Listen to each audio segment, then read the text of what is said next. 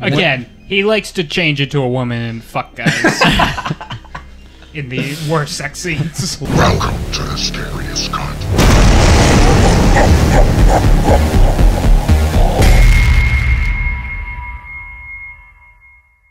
I'm Matt, And I'm Tom, and we're joined by our producer James. and tonight we're talking about 1979's That was done in studio. Damn. All right, so I'm going to read you a little synopsis written by the scariest cut on this film. Ready? Let's hear it. Residents of a small town start dying under strange circumstances.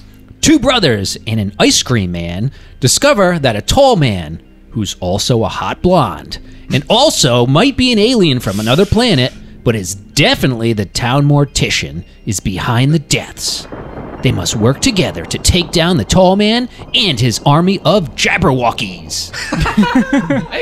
That's what I got from this film. What about you? No, that was pretty accurate. Yeah, I was I was thinking very similar. Mine was a bit more crude. Well, now I want to hear yours. Mostly just about how an alien disguised as a creepy grandpa to a hot woman and starts fucking and murdering people, and then turn them into dwarfs. yeah. Oh, then yeah, I guess a kid, his brother, and an ice cream man have to stop him. This is a fun film. Uh, people love it. Yeah, this has um, become a cult classic. I, definitely in the last 20 years, 30 years now. The movie came out 79. Yeah. It's so weird. I know because this uh, well, it did actually very well in the box office, Very- surprisingly. Yeah. Because this super low budget movie. Three three hundred thousand. 300,000 and ended up making well Wikipedia has like two things here. This says 22 million or like 6.8 million, which is drastic difference but still a big Still. increase. I'll take either one of those. um, that's what I will give this movie credit for was this was um, low budget for 70 Independent film. independent I mean this guy um, god damn it, I looked up his name so much it, Dan Don- Don Coscarelli. Coscarelli did like everything Oh Wrote- yeah, yeah, wrote, directed, literally everything. Produced, uh, edited this movie, did the cinematography. So I'm like, all right, there was a lot of work put in by this guy. This all came from a dream, right? That he had.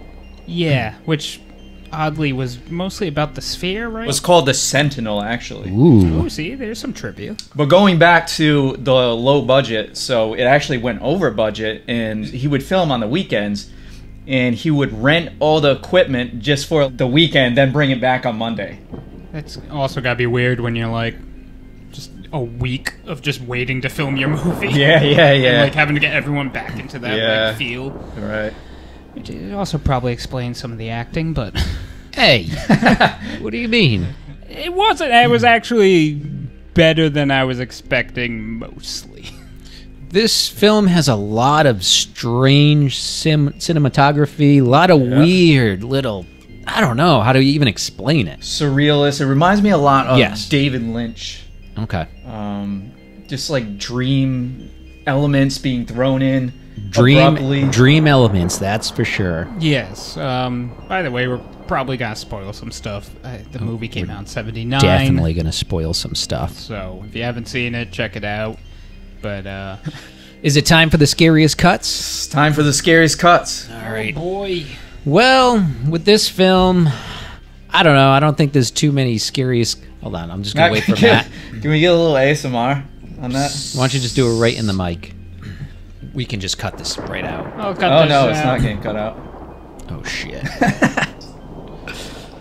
you all topped off? I just need some Where water. you get the sizzle on the mic? Oh my god. That's for you. Oh man, our first episode's gonna be a gem when we look back at this one years from now. Hey, we're adding everything in here. We got ASMR. oh god. So scariest cuts. Um Are we this- doing honorables first? We're definitely going to do honorables because we don't know what each other's scariest No. cuts are. I'm not even fully decided on my honorables. okay. Um, there's one scene that I that stands out to me in particular. It's an honorable mention. Um, it's when Michael is walking through the town and he looks across the street Oh yeah. and he sees the tall man walking towards him, but on the opposite side of the street. He's actually walking towards Reggie, who's an ice cream man. Uh, Yeah. And just the way they shoot it in slow motion Right, with the right. music. I, I do love the music in this film. It's it's great. Oh, it is a, it. it's a great. That theme is So it was actually inspired by Goblin. It was uh, Really? Suspiria, obviously. that Yep. makes sense. Perfect sense. But yeah, that scene is very cool. He turns and looks right at Michael, and he does. I don't know. He's like grunting and stuff. But uh, you see like the not the steam from the ice cream Yeah, truck or yeah, whatever the yeah. frig it is. But I don't know. There's something frightening about that scene. Like something's gonna happen, but nothing does. So Obviously, he's got telekinesis, but he has, I think, telepathy. So when he stopped, it was like he picked him. it's like just- he knew he was there. Yeah, he knew he was there, Mm-hmm. and it was so unexpected. And then he turns like it's slow and Mm-hmm. suspenseful, creepy. I like Yeah. your things. I feel like those powers, though, were not explained in this movie. I mean, how are you gonna Yeah. explain that in '79? You know, they didn't have CGI and all that stuff. I so- know this does have like what five sequels or something. Yeah. I know uh, Angus Scrimm passed away in like 2016 or something. Yeah. and that was right after the last one was made. Hmm. Um, so I'm assuming there was a lot more explained about the tall man because we don't get much in this. right. Yeah. But I think this it's deliberately low on exposition because it has that kind of surreal, Mm-hmm. enigmatic kind of vibe. Yeah. So that's one of mine. What do you got? Um, so, so pulling at straws here. Um, there's that scene where Jody first goes. I think it's like the first time he goes to explore the morgue after like shit starting to pop off. He's in a basement.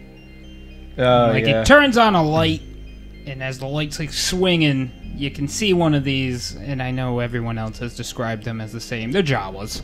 yeah, I guess. Yeah, he gets Jody gets attacked by one. The scene is then made crazy because he takes a shot at this thing with the gun just by aiming the gun over his head. Like I know you have no visuals, but he's just Yeah, doing yeah, this, and yeah. I'm like, Oh yeah. there's a good chance you. Yeah. But Yeah. he nailed it. Yep, you got lucky there. But I do think that was like that reveal of like the light swinging, and then you just see this hooded figure, which it's standing on something because it's bigger than him when it jumps. right. cool. Good scene. Oh, I got to follow it up Yep, with you gotta go a- for one more. one more. Um, before the big reveals. there is another cool scene that's almost like the first one I mentioned, um, where Michael, his brother's like, "Get the hell out of here! Go to a friggin' antique shop. Get him out of here!" Right? So uh, he's in the antique shop with Oh, these two yeah. random girl characters. I don't know why they sent him into town into an antique shop, but whatever. they, they could afford to film there. yeah, that's exactly why. Yeah, this only has like three sets. Yeah. really. But Michael's looking through some pictures and he comes across one picture of the tall man. And just the way they film it, like at first it's a picture, but then all of a sudden there's some movement to it. And the tall man like turns and Yeah. creepily and looks Yeah. at Michael. And uh, I don't know, I thought that was another cool moment. I just, I love the, Oh, yeah. I love these little, I don't know, scenes like that where there's, it's just interesting. That is the fun thing, like watching these old, because '79, like it wasn't too much. That was like a weird time for horror. Yeah. Like, some of the biggest horror came out around then, but like to see what, like we've seen that more recently, like the It remakes, like they do that kind of stuff. Yeah, it, it was it was probably experimental, like at the time, uh, and it just it just came through with like an eerie feeling to it. I do have one honorable mention. I, it's not going to be your scariest cut, so. Okay, let's hear it. All right, so in the beginning, when the lavender, I think it's the lavender girl, the Yeah, one that the like the tall man, like Lady in lavender. I think Yeah, yeah, yeah, yeah. The tall man, Yes, yes. the So hot, when- yeah, Again, he likes to change it to a woman and fuck guys. in the worst sex scenes. What a way though to build an army of minions. Also, to ruin someone's life, like as you're dying, you realize this girl. Is Oh, an yeah, you old gotta- man. You get the bait and switch. the bait and switch. Do you think he finishes right before they die? you just got catfished. Um, yeah, but that scene in the beginning with Tommy, and that's another thing you would never expect. Like it flashes. between- Tommy. Yeah. But um, A lot of Tommies in shout horror out to movies. Tommy Jarvis and who was the other one in uh, Oh, uh, Tommy. Oh, fuck. From uh, Doyle? Halloween. But yeah, that that scene like just it it uns- it was unsettling right at the beginning of the movie. Yep. And it sets a precedent for all the crazy stuff that's just gonna follow. All the like the abstract things, and it's just like I know. It definitely sets the tone Right. for the entire movie. Right. In the movie's 90 minutes or 89 minutes. It was originally gonna be three hours. Yeah, that's what fucking baffles me because I know I had read uh, a lot of that footage was lost. 'Cause that was the Yes, last thing I was saying yeah. earlier, something that confused me because this Lost was originally footage? three Yeah. hours. They lost a lot of that footage, Oh and my then God. some of that footage was actually used in like the next one, right? four. I think it Oh, was the the fourth, fourth one. one. Well, that would make sense why this movie is the way it is, because it's just all pieced together. But I'm also Right, like, how is this three hours when so much of this movie feels like unnecessary scenes? Well, they they said it was, or Don Coscarelli said it was a lot of character development, but I feel like that would probably take away for the horror aspect if you're like building these characters up too much. I could have used a little more. Yeah. Yeah, because there are Yeah, times I'm like, what yeah, the that's fuck true. is going on? Yeah. I'm like, he's an ice cream man who wears a leather vest, plays music. I know he was actually a musician. Yeah, that was a He good wrote- song. yeah, yeah, That was a he good wrote that song. song. that jam, which explains why it was like a couple. it's at least a minute of them just playing music. Just- so Yeah. out of place in like. but they were just like Everything's out of place. They in were- this Yeah, I know it, it fits. Because I think go- he was actually friends with uh, the director. Yeah. Which is why he got that, and he was probably like, play some of your music. he actually made that character off of his friend. Um, so Reggie was was supposed to be that affable, like everyday guy that everyone can relate to. No one can relate to that haircut. that, that holding on to that mullet. He's got a weird looking mullet. like a ponytail. He's got this It's vest. confusing. Yeah. he wears a vest with like a bow tie. I'm like, what is this guy? What's his outfit? He's like the old school ice cream man, but then wears a leather vest because he's still a musician. I thought, you know that uh, horror movie, The Ice Cream Man? I was wondering if that was like. I heard comparisons because this actually came out before that, and he looks very He looks. similar. He does. So I looked it up to see if the character's name from that other movie is Reggie. It's not, but that would have been cool. Like a little. Would've been- Yeah, 'cause yeah. like, yeah, that Yep. him wearing that, uh, it kind of takes away from a bit of that ending scene because him, he just looks stupid. Yeah, yeah. So it's time for our scariest cut. All right, we all have the same one, right? Um, maybe. I, I piece mine together maybe a little differently than you do. So I assume it's the the orb. It- it's the, The sphere. Sentinel. Sentinel. As James said. Yeah, this was um the only because this is my first time actually fully watching this movie, but I had seen this scene growing up like a bunch. Like my dad showed me this scene. It is the most to me the most effective scene. Also, these sphere things are so fucking random in this movie. Floating. Which makes more Yeah, sense yeah. when you realize this is basically the dream it was based off of. Mm-hmm. But it's such a brutal scene. Comes around the corner. Michael bites this guy's arm, who's like choking him, whatever. Yeah, but also, who the fuck is this guy?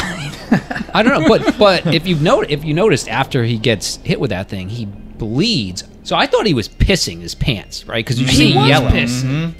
That could be the yellow blood. I know, though. but he had some straight up red blood. I think Yeah. he pissed his pants. Oh, he pants. did. Yeah, that's true. Right? Seeing that red Yeah, blood shoot yeah. out. So like, who is this guy? That's weird. Yeah, I didn't feel think of like that. Angus Scrimm just had to hire someone. The tall man needed an employee to I know run. there were other caretakers in there.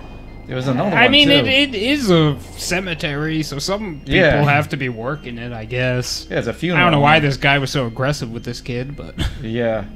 Yeah, he got his because yeah, that ball sticks in, and it's like a drill. It starts drilling. It's a Oh, good it's effect. crazy. well, you see Yeah. the reflection too through the sphere. Oh, Which is pretty yeah, cool, yeah. so it's like- Yeah. Which actually, yeah, the, another thing I heard, which is pretty fun, is the way they shot this. Is they had um Oh, I read this professional too. baseball players throw these spheres off camera, and Really? then they would reverse the shot, and that's how they like would show them flying. That's But I strange. heard they were throwing it at first, and then uh, uh, like that didn't work or something. Then they stuck it to the head of the guy and used like a string to like Pull pull, it it, back. off. I feel like that makes more sense in this shot because it's very like direct. the first part of that sequence looks so cheesy. Oh yeah, but It's just- it's what they. I mean, it was seventy nine. It it worked mostly, but then the tall man chases after Mike. That's my scariest Yeah. cut. So that that's the part that I think is scary. Because Michael turns and he, what the heck does he say? He's like, um, like that, that's his big line. And then he's like, oh shit, right? And then they do Yeah. this like this dance, this walk, right? They each take a step towards each other, yeah, yeah. and then Michael takes off, and then there's this cool tracking shot, right, right. and like you feel like you're you're there with him and he's about to grab him so like that is Yes. that is scarier to me than this like the orb was like cool gore and stuff but um I was that's the scary one. yeah. Um, but in Angus Scrimm, who like we said is six foot four Yep. against this yeah kid, chasing him i'm like, like oh, the size differences and very intimidating. Yeah. If he had his boots on, he would be six seven. So Jeez, I need to get me some of those. Yeah. Hmm. So did they put the like the little stilts in his whatever the the lifters Yeah, in his yeah. boots. But, so that uh, made him like six seven. But I think like another thing I want to add to this, the creepiness is the the whole aesthetic of that like marble mausoleum, and pure white pretty much. And then you get this like metallic ball, and then they're just running through the corridors. It's just uh, I don't know. It's it is very like dreamlike. Mm-hmm. It is. I actually kind of wish there was more of that in this movie. well, you know why it's dreamlike let me spoil this fucking movie for you because at the end it's a goddamn dream or is it the Or whole is it? movie's a dream i don't know Yeah, it, the ending is um, very confusing. to very me. weird but whatever it's interpretive it- right like throws me off because I'm still like, and I'm assuming this is explained in the sequels more yeah because also I know certain characters come back. But Um, we're only talking about this film, so Yeah. for what this was when it first came out, weird ending. It's a dream, but then all of a sudden the tall man's there again and pulls Mike. in. Boy, yeah, right classic. there, yes. He also, uh, I couldn't help but notice this, had a haircut before they filmed that scene because his hair is completely different. He's got a nice short Uh, cut there at the can, do end. what he, he can grow his fingertips back. He can cut his own hair. He can do Yeah. whatever he wants. you know? Yeah, um, can we also talk about his fucking severed finger turn into Into insects? the shittiest looking A gigantic fly. fly thing? I don't know what that was. That was another of uh, Don Cos- Coscarelli's phobias. He, he had like this thing of uh, insects. They borderline turned into a Three Stooges Yeah. scene of them just like- fighting with this jacket. yeah, the freaking jacket. Uh, so that wraps up our episode of 1979's. Phantasm. Thank you for listening, watching, consuming this content, however you do. Definitely don't like and subscribe. Yeah, we're not at every app at the scariest cut. Definitely not, so don't do it. Don't look this up. Uh, we'll see you next time when we talk about The scariest cut.